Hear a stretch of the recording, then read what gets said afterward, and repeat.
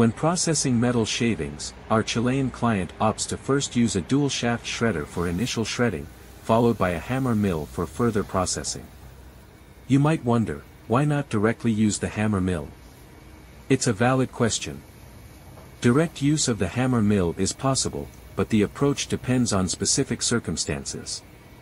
For instance, when metal shavings are clumped together in larger masses, pre-shredding with a dual-shaft shredder helps improve the efficiency of the hammer mill, thereby enhancing overall production efficiency.